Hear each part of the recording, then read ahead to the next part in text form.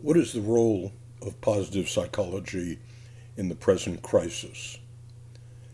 There are two different aspects of positive psychology to know about.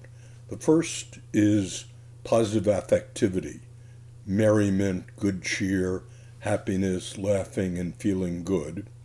It's an affective state.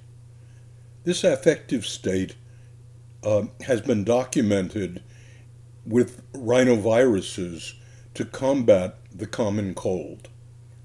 So, what we know, our best guess, is that to the extent you can put yourself in a cheerful, merry, laughing mood, you may have an edge against infection. The second aspect of positive psychology is optimism and hope. This is not an affective state. This is a cognitive state. It's the belief that in the future things will work out.